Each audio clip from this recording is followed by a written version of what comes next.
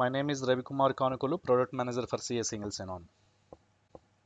In this session, I will cover how CA SSO can help you to achieve the claim-based authorization using JWT authentication.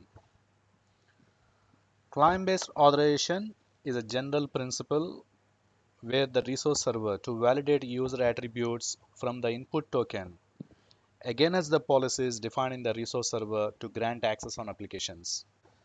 You may manage various applications and those applications grows rapidly in the digital world. And there might be a scenario in mergers and acquisitions where you need to provide authorizations to employees of your new business unit. In all of these cases, you may require to add new roles in the policies in your resource servers. If you have a valid JWT token after user is authenticated by any of your identity providers, or you can build the JWT token with a set of claims after authenticated by any social login providers. JWT authentication scheme is introduced in 12.8.2 to support the claim-based authorizations using the claims as part of the JWT token. This slide explains the use case of granting access to users on applications based on the claim values which is part of the JWT token. CA SSO does not look up for the user attributes in the user stores. Every time whenever a new request comes from the user to access applications. It can persist the claims information in session store. If the user is trying to access another application using the same session, SSO validates the role in the existing session again as the policy defined in the domain. CA SSO lets you to define the policies with the roles by using the claim names and values from the JWT for every application in your organization.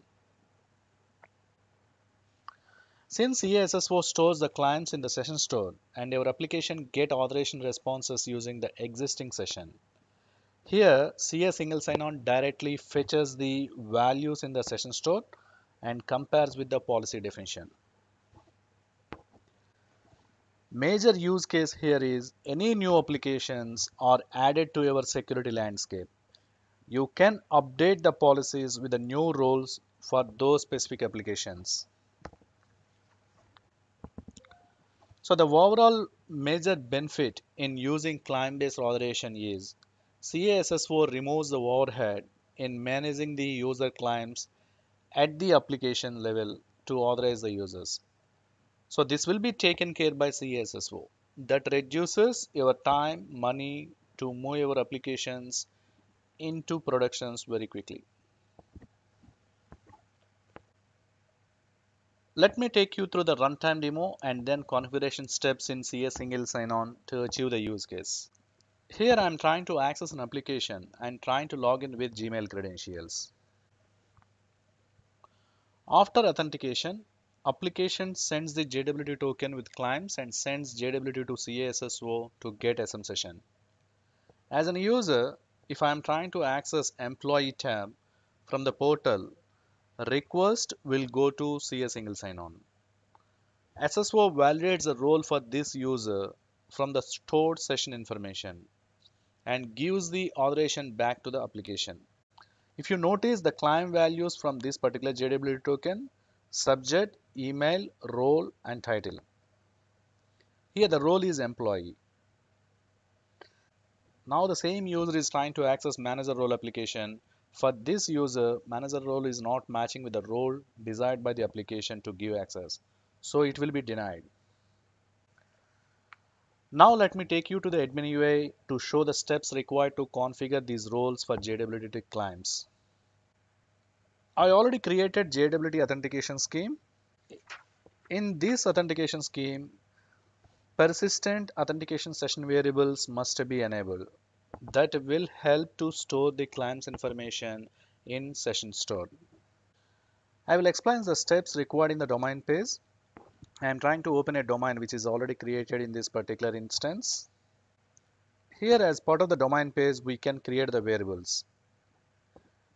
These variables represents the claim names as part of the JWT like role, email, manager and all these are the claim names in the JWT token.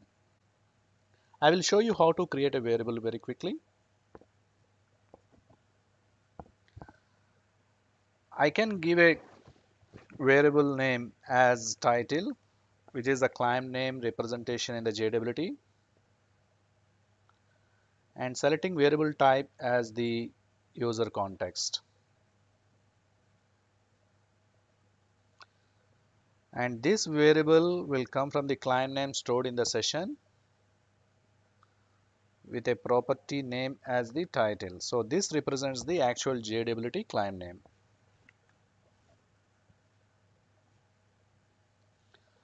I'm going to create another variable with the title value with a static value as a variable type and the static value which I am looking for is the sales executive. After creating this set of variables, in the policies you can add expressions with these defined variables. You can add multiple expressions with various conditions in the same expressions that will be executed in the policy definitions. I'm going to uh, show you how to add uh, another condition as part of the same expression. You can add a title which is just now created and adding the title value. I'm going to add this particular condition as part of the same expression. So overall, these are the steps you need to configure in the domains and in JWT authentication scheme to achieve the claim-based authorization. Instead of adding set of conditions in your application or to change the user store schemas, you can use JWT authentication scheme in conjunction with expressions defined in the domain policies. That would provide the seamless login experience to your end users. For more detailed information about this product, click the information bubble in the top right corner to load the product page. From there, you can visit product documentation, support, communities, or you can see the learning paths. Thanks for watching this session.